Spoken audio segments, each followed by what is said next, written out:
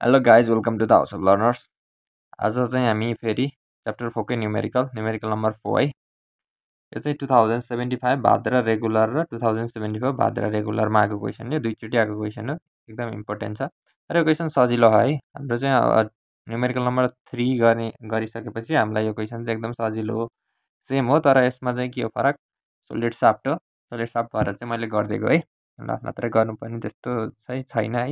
एउटै एउटै न्युमेरिकल हो। न्युमेरिकल थ्री र फोर यसमा चाहिँ हलो साफ थियो यसमा चाहिँ सोलिड साफ है ल क्वेसन पढौँ है सुरुमा determine the diameter of the solid shaft solid shaft छ त्यसको डायमिटर निकाल भनेको थियो भने है यसमा चाहिँ यसमा चाहिँ हलो साफ थियो विच विल ट्रान्समिट यति यति three hundred thirty seven point five kilo watt power चाहिँ ट्रान्समिट गर्ने रहेछ यसले अनि एट थ्री हन्ड्रेड आरपिएम यसले फ्रिक्वेन्सीको भ्यालु देख होइन the maximum shear stress should not exceed thirty five newton per mm square भनेको सियर स्ट्रेस चाहिँ टाउ चाहिँ टाउ म्याक्स चाहिँ यति हुने रहेछ। है shear stress maximum shear stress चाहिँ यति देखा।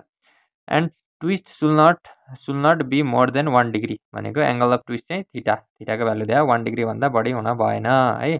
अनि लेन्थ अफ साफ्ट देखा टु पोइन्ट फाइभ मिटर अनि मोडुलस अफ रिजिडिटी यति देखा है। पहिला सुरु यो एमएम स्क्वायर छ भने मिटर स्क्वायरमा लर गर्नु है नजिक यो क्वेसनमा एमएम स्क्वायर जता जता छ त्यो त्यो सबलाई चाहिँ मिटर स्क्वायरमा लानु। ल अब क्वेसन स्टार्ट गरौँ है सोल्युसन यसमा नि सेम है प्रोसिडियर सुरुमा म सोल्युसन स्टार्ट गर्नुभन्दा अगाडि पहिला गिभनहरूलाई म टिप्छु है सोल्युसन यहाँ गिभन गिभन है। गिभन भनेको कुन कुन पावर पावर कति हो? Three hundred thirty seven point five kilo watt भनेको into ten raised power three watt भयो होइन?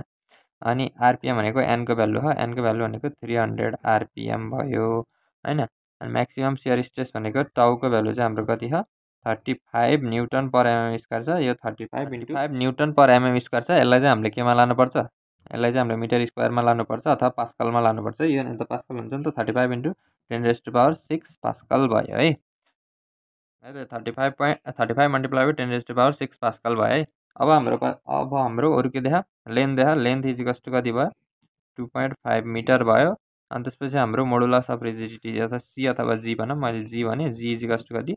Nine into ten raised power four newton per mm square हो। यसलाई उसमा लाँदाखेरि nine into ten raised power ten होइन? Ten raised power ten newton per metre square आउँछ है। यति होइन अरू अरू अँ थिटाको भ्यालु थिटाको भ्यालु वान डिग्री देखा। यसलाई रेडियनमा लानुपर्छ है। फाइभ बाई वान एट्टी हुन्छ है रेडियनमा लाँदाखेरि। ल। यति हाम्रो गिभन भ्यालु हो। यस्तो क्वेसन गर्दाखेरि यो टर्सन च्याप्टरको क्वेसन गर्दाखेरि सुरुमा हजुरहरूले टर्सन इक्वेसन चाहिँ माथि लेखेर राखिहाल्नु है। हामीलाई के थाहा tau by T by IP आइपीको सट्टामा जे पनि हुन्छ कहिले काहीँ मैले भन्छु इजिकस टु अनि हाम्रो टाउ बाई यो टु यो भनेको torque T by tau by R इजिकस to G theta by L है। ल यो हाम्रो टर्सन इक्वेसन भयो है यो क्वेसन यति बसी है। अब हामीलाई क्वेसनले के के भनेको भने दुईवटा कन्डिसन देखा होइन? दुईवटा कन्डिसनमा सुरुमा के भने म्याक्सिमम् सेयर स्ट्रेस यतिभन्दा कम यतिभन्दा कम यति यति जानु भएन अरे यहाँदा बढी जानु भएन अरे अनि एङ्गल अफ ट्विस्ट चाहिँ वान डिग्रीभन्दा बढी चाहिँ ट्विस्ट हुन भएन रहेछ यो साफ्ट होइन? भनेपछि हामीले डायमिटर यसरी निकाल्नु पऱ्यो गएको पालि क्वेसन पनि गरे हो डायमिटर यसरी निकाल्छौँ कि त्यो डायमिटरले दुइटै कन्डिसनलाई सेटिस्फाइस गरोस् होइन? सुरुमा म एउटा कन्डिसन लिन्छु। एउटा कन्डिसन लिनको लागि सुरुमा म्याक्सिमम् सेयर स्ट्रेसको लागि। म्याक्सिमम् सेयर स्ट्रेसको लागि यो र यो इक्वेसन लिएर सल्भ गरेर मैले के निकाल्छु? आरको भ्यालु निकाल्छु। अथवा डायमिटर भनौँ अथवा रेडियस भनौँ होइन? अनि त्यसपछि फेरि आरको कन्डिसन थिटा वान वान डिग्रीभन्दा बढी नजाओस्को लागि चाहिँ म के गर्छु? यो र यो लिएर एउटा एउटा भ्यालु निकाल्छु डायमिटरको अनि दुइटा डायमिटरको निकालेपछि हामीले अगाको पालि क्वेसन जस्तै हाम्रो म्याक्सिमम् म्याक्सिमम् डायमिटर जुनको हुन्छ त्यो नै हाम्रो एन्सर हुन्छ है। सुरुमा चाहिँ हाम्रो के लिने हो? यो दुइटा लिने हो अनि पछि यो लिने हो भने चाहिँ हामी टर्क निकाल्नु पऱ्यो टर्क निकाल्नलाई हामीलाई के देखा क्वेसनले कन्डिसन देखा पावर पावर र आरपिएम देखा होइन? फ्रिक्वेन्सी देखा पावर र फ्रिक्वेन्सी थाहा भएपछि हामीलाई के थाहा? विनो फर टर्क है? सल्भिङ फर टर्क भनौँ। Solving for torque we know होइन? पावर भनेको के हो? पावर भनेको टु पाई एफ अनि मल्टिप्लाई बाई टी हो होइन? अब हाम्रो पावर कति देखा three hundred thirty seven point five multiply by ten raised power three देखा इजिकस टु टू भयो पाई भनेको मैले three point one four one five राखेँ अनि फ्रिक्वेन्सी भनेको कति देखा थ्री हन्ड्रेड आरपिएम देखा रिभोल्युसन पर मिनट यसलाई सेकेन्डमा लाँदा रिभोल्युसन पर सेकेन्डमा लाँदाखेरि थ्री हन्ड्रेड डिभाइडेड बाई साठी भयो मल्टिप्लाई बाई टी भयो होइन? यहाँबाट मैले टीको भ्यालु सल्भ गरेँ भने यहाँको यहाँबाट टीको भ्यालु अब यसलाई यहाँबाट डिभाइड सिभाइड गरेर यताउति गरेर योहरू गर्न सक्नुहुन्छ। यहाँबाट सल्भ गर्दाखेरि क्यालकुलेटरमा हालेर सल्भ गर्दाखेरि हाम्रो टीको भ्यालु आउँछ। टीको भ्यालु आउँछ हाम्रो कति आउँछ? One zero seven four three point two eight newton per metre है। नियरली यति आउँछ है। ल हाम्रो अब हाम्रो टर्कको भ्यालु आयो होइन? अब हामी के गर्छौँ भनेदेखि दुईवटा कन्डिसनलाई लिन्छौँ। फर्स्ट कन्डिसन है केएसआई भनौँ।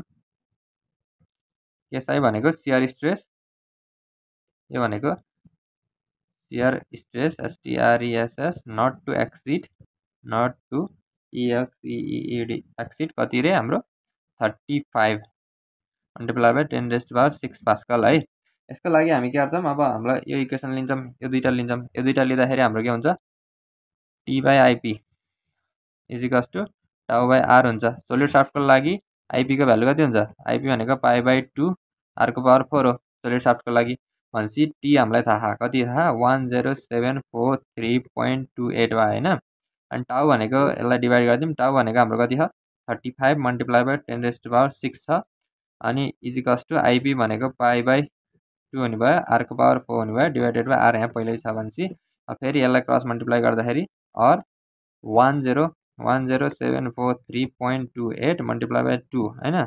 Divided by thirty five multiply by ten raised power six भयो होइन मल्टिप्लाई बाई पाई भनेको three point one four one five भयो यसको पावर वान बाई थ्री गरिदियो भने हाम्रो के आउँछ आर आर काटिदिन्छ। नि त आर के भन्छ? यसको पावर वान बाई थ्री भनेको आर भयो। जेयरफोर यहाँबाट आरको भ्यालु चाहिँ हाम्रो कति आउँछ? Zero point zero five eight metre आउँछ है। भनेपछि आरको भ्यालु कति आयो हाम्रो? Zero point zero five eight metre आयो। यो भनेको यो भनेको इजिकस टु फिफ्टी एट एमएम हुन्छ। अनि यहाँबाट डायमिटरको भ्यालु हाम्रो कति आउँछ? एक सय सोह्र एमएम आउँछ है। यो हाम्रो एउटा एन्सर आयो होइन। एउटा डायमिटरको भ्यालु आयो यो कन्डिसनमा सुरुमा टाउ चाहिँ यो टाउ चाहिँ थर्टी फाइभ सियर स्ट्रेस चाहिँ thirty five into ten to power six पास्कलभन्दा थोरै हुनको लागि चाहिँ हाम्रो के हुनुपर्छ?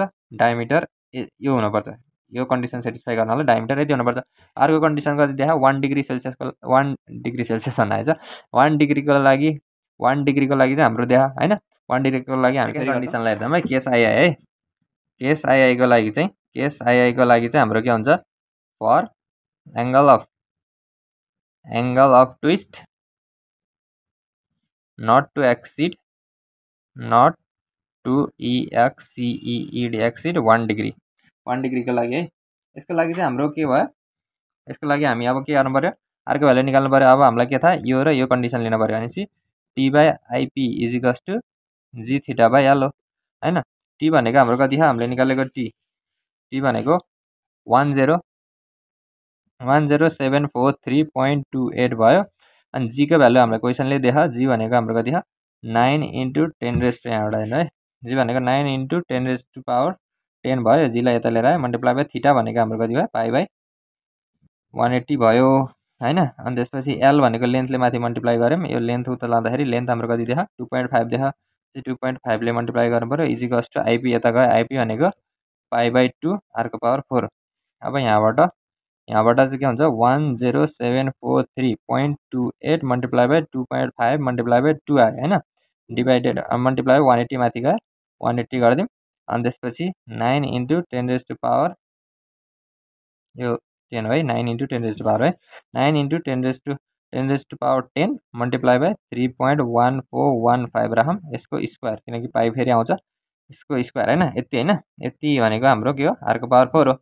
अब आर निकाल्नलाई के गर्नु पऱ्यो आर निकाल्नलाई यसको power one by one by four गरिदिउँ है।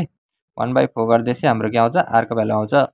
आर भनेको यसरी क्यालकुलेट गरेर हाम्रो आरको भ्यालु चाहिँ आउँछ zero point zero five seven four four metre आउँछ है। अब यसलाई उसमा एमएममा लेख्दाखेरि कति आउँछ? Fifty seven point four four mm आउँछ। अनि डायमिटरको भ्यालु चाहिँ यहाँबाट हाम्रो कति आउँछ? One hundred fourteen point eighty eight mm आउँछ है। ल यसरी चाहिँ हामीले के गऱ्यौँ? डायमिटर दुईवटा कन्डिसनमा निकाल्यौँ। एउटाको डायमिटर हाम्रो कति आयो? एक सय सोह्र एमएम आहा। यसमा चाहिँ हाम्रो कति आयो? एक सय चौध पोइन्ट आठ आठ। यसमा चाहिँ हामीले कुन चाहिँ लिने हो? जुन चाहिँ ठुलो हो। भनेपछि यो यो डायमिटर लिनु पऱ्यो है। भनेपछि हाम्रो फाइनल एन्सर फाइनल डिजिकस टु एक सय सोह्र एमएम भनेर भनेपछि taking bigger value larger value भनौँ न लार्जर भ्यालु है। लार्जर भ्यालु नै किन लियो भन्ने कुरा मैले गएको पालि भिडियोमा नै एक्सप्लेन गरेको थिएँ ला अब यो हामीले किन ठुलो नै भ्यालु लिएको किन चाहिँ सानो भ्यालु नलिएको भन्ने कुरा आउँछ नि त। डी इजिकस टु एक सय सोह्र नै किन नलिएको एक सय चौध पोइन्ट आठ आठ किन नलिएको भन्ने कुरा आउँछ। त्यसको लागि हामीलाई के थाहा टर्सनल लिजिडिटी होइन। टर्सनल लिजिडिटी जसको धेरै भयो त्यो साफ्ट बलियो हुन्छ भनेर भन्थेँ मैले। होइन गएको पालि भिडियो भिडियो देखाउनु भनिरहेको छु। भनेपछि टर्सनल लिजिडिटी भनेको के हो? के इजिकस टु सिआइपी बाई हो होइन? दुइटै कन्डिसनको लागि सी कन्सटेन्ट छ एल कन्सटेन्ट छ जसको अनि फरक केले पार्ने भयो आइपीले फरक पार्ने भयो जसको आइपी धेरै त्यसको टर्सनल लिजिडिटी धेरै होइन? त्यो जसको आइपी धेरै त्यसको टर्सनल लिजिडिटी धेरै जो जुनको टर्सनल लिजिडिटी धेरै त्यो चाहिँ बलियो भन्ने कुरा हुन्छ अनि फेरि आइपी भनेको के हो? आइपी भनेको पाई बाई टू आरको पावर फोर हो हो। नि त भनेपछि आर धेरै भएको आइपी धेरै हुने रहेछ आइपी धेरै भएपछि के हुने रहेछ? टर्सनल लिजिडिटी धेरै हुने रहेछ। अनि टर्सनल लिजिडिटी धेरै भएपछि के हुन्छ? त्यो साफ्ट बलियो हुन्छ। त्यही भएर चाहिँ हामीले के गर्नु पऱ्यो ठुलो भ्यालु चाहिँ लिनु पऱ्यो है आरको ठुलो भ्यालु अथवा डायमिटरको ठुलो भ्यालु लिनु पऱ्यो त्यो मैले गएको पालि भिडियोमा नि एक्सप्लेन गर्थेँ यसमा नि भनिदिएँ ल आजको लागि यति नै। यो चाहिँ सजिलो क्वेसन थियो टु थाउजन्ड सेभेन्टी फाइभ र सेभेन्टी फोरमा सोधेको रेगुलरमा अब हाम्रो न्युमेरिकल फोर चाहिँ सक्यो। अब हामी चाहिँ अर्कोमा चाहिँ न्युमेरिकल नम्बर फाइभ गर्छौँ है। ल आजको लागि यति। हस् त थ्याङ्क यू